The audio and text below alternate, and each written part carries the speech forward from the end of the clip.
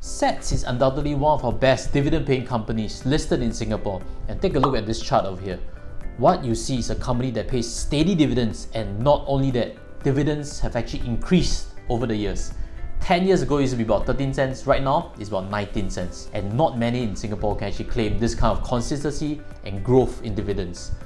So that's why there's been this question in this family, hey Josh, what are your thoughts on SATS?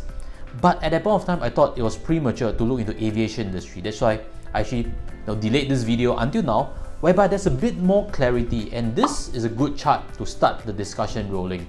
This is actually done by IATA and what they are projecting is very conservative until 2024 before we regain back you know, kind of traffic we, see, we saw in 2019. That means an additional 4 years of painful, slow recovery back to the heydays. And if your question is about, you know, in terms of share price, SATS was worth about $5 back in 2019. Does that mean if you get invested now and you wait until 2024, share price will recover back to $5 mark, which means you actually make a very decent rate of return on in terms of a share price. So that's a question that I'll try to help you answer and I'll do so in a few parts. The first, I'll answer to you what how you can actually understand SATS if you're not familiar with them. The second, I'll actually show you what SATS is exactly strong for. And the third is the CEO, Mr. Alex Hungate, on what his direction of steering SATS has been throughout these years. And I'll give you a quick conclusion as to my impression about SATS. And if this interests you, continue watching on. Hi guys, welcome back. Now SATS is actually not a difficult business to understand. They have two main businesses to take note of and let me pull this up for us to look at it together. The first is none other than food solutions and the second is gateway services. So what exactly is food solutions? This actually shows the scope in terms of food solutions they provide. Of course, the main component is in-flight meals that they serve. So that is actually under the aviation catering as well as private jet catering. And there's also this component, institutional catering and commercial catering, which is done by SFI. Now, if you're a guy, been to national service, you know that SFI is where we all get our food from. There's nothing other than complaints about SFI food, but in terms of business, that is a good business to own, regardless of how the food tastes like. So the next part of the, the other arm of their business is actually in services, gateway services, as I, mentioned. So this is the scope of services, passenger services, uh, air cargo services, and you know cruise terminal services. So these services is are actually done by SATS and they actually run these gateways and a lot of which are labor intensive because staff is needed to move luggage all over the place for the cruise as well as for the airplane or cargo material so they need to have a lot of drivers. That is why if we look at this chart over here, you realize that staff cost is 50% in terms of their overall expenditure. I actually use the third quarter financial 2020 because this is the last quarter before COVID-19 actually impacted numbers. So this is actually pretty accurate if things are back to normal, 50% in terms of a staff cost. That is why if you look SATS, what are their margins like? They actually look quite good. All the financial ratios, return on asset, return on equity, return on invested capital, all these figures look pretty good because they are a service company and they have quite a strong monopoly on things. But actually what happened from COVID-19 is fourth quarter of 2020, they actually saw their first ever quarterly loss. That was a marginal quarterly loss, but again, that was from January all the way to March. And that was where things started to turn bad, correct? So that was their first quarterly loss of 6 over a million.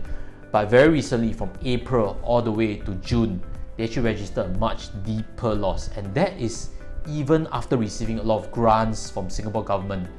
And that's why they registered a 43 million loss for this first quarter of financial 2021.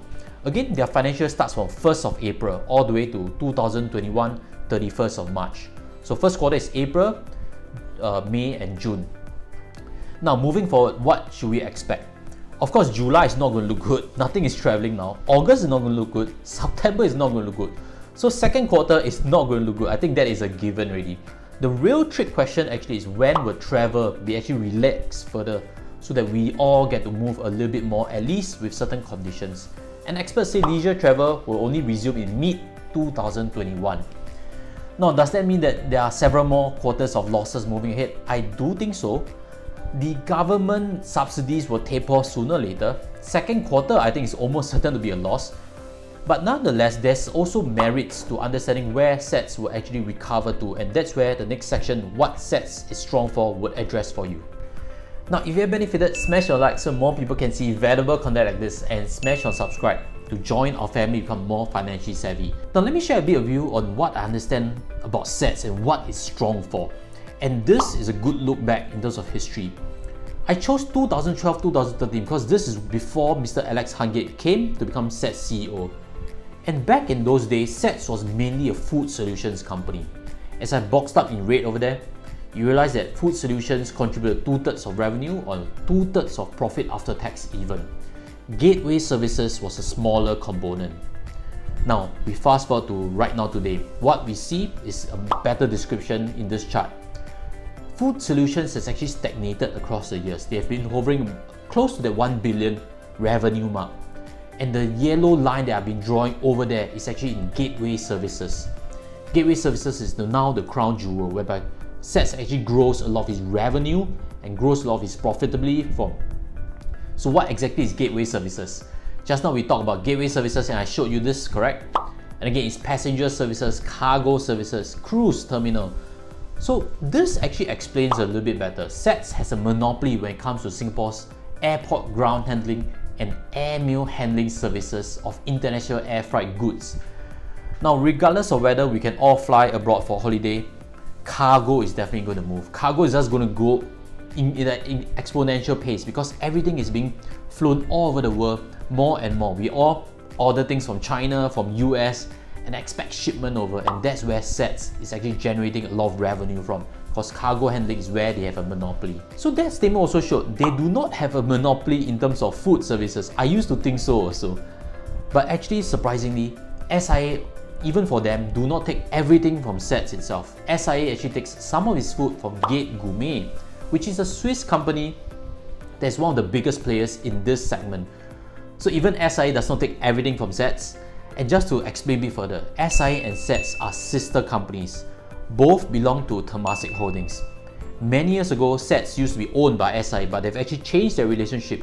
So now they are only sister companies, which means SIA does not need to order everything from SATS. So back to uh, you know, gateway services, I want to give you a little bit more flavor to it. And that's why I prepared this diagram for you to see. On the bottom left, you realize that EBIT and margin, we can see over at that graph a, a consistent gain in terms of revenue. But not only that, margins have been really growing. 2015, it was 5.7%, but 2019, it's 11.3%. So when you have a monopoly, you get very good margins, and this margin has been growing. So to understand a bit further on the breakdown between air cargo and cruise cargo, the top right diagram will actually explain it. Cruise cargo is actually a very important component. But cruise cargo is a bit more problematic because of you know COVID-19 situation. We may, we will definitely still have a lot of air flight cargo coming in. But for cruise, I think everybody is not too keen to, you know, take a cruise abroad. Maybe cruise to nowhere is going to be a big factor moving forward. I have no clue on it. And hopefully they still need us to have some luggage going in and out because that will still contribute to SATS revenue. So again, SATS is mainly going to grow its gateway services and that's where they actually drive a lot more increasing margins moving forward. Now they understand that gateway services is a very important growth driver, I'll next show you another segment that you should pay special attention to, especially if you are keen in SATS. You know their CEO, Mr. Alex Hungate, he came on board in 2014 and this has been, you know, in my opinion, an effect of his leadership.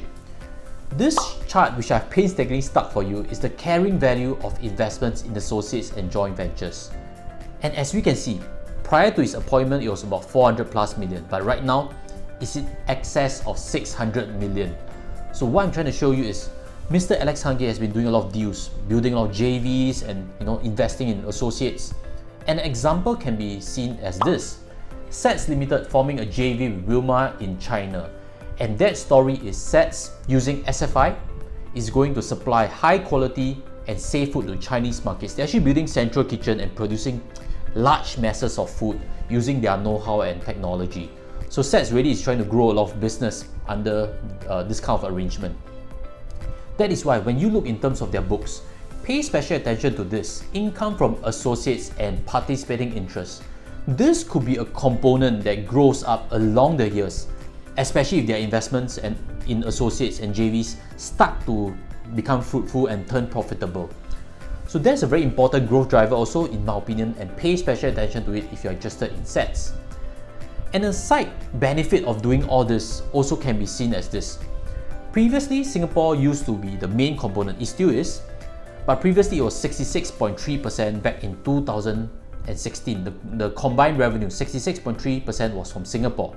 But with all this overseas investments for growth, SATS is actually much more diversified as of right now. SATS is now Singapore's, Singapore is only contributing 61% of combined revenue, but what we can see is Greater China's contribution has grown, ASEAN's contribution has grown, and India's contribution has grown. So SATS is a lot more diversified than a couple of years ago, and moving forward, if they continue to do JVs abroad, very likely SATS will, will diversify the income stream while still maintaining its core businesses. So that's pretty good in terms of managing the business, in my opinion. Almost finished your presentation and he's fussing so much, so I'll just bring him in. So let me just try to quickly conclude for all of us you know, what to expect from SATS. You know, at the start of the video, I actually asked this question, will SATS recover back to $5 in 2024 if aviation industry does indeed recover to that? But I'll give you my quick assumption or my quick answer to that, and that is, it's dangerous to assume so because when it comes to investing in shares, a company's share price reflects future earnings, future growth, as well as margins. So it's not as simplistic to assume, you know, aviation industry recovers back. Share price of everybody in the aviation industry would recover back. So that's not necessarily the case. But again, I may be wrong. So leave your, your thoughts, your questions in the comment sections below. So again, I'll try to help you round up things. SATS is actually a very service-based business, which means a lot of its cost is in staff. And that's why if you see headlines like this, SATS is reducing staff costs by retrenchment and stuff, don't be alarmed because that means that this business is you know very nimble. They can actually cut down staff costs very quickly to survive. Unlike its sister company SIA. Now, if you haven't seen this presentation before on SIA, let me invite you there also because that exactly shows the problems in SIA. And I believe SIA is a much difficult, much more difficult business to turn around than SATS SATS I'm pretty sure that it can you know recover pretty well but SIA not so sure. So look for that video if you haven't seen that already because that gives you a full breakdown on SIA. With that, I'll sign off. I'll bring him out to go walk walk. So with that, I'll see you in the future video. Take care and goodbye.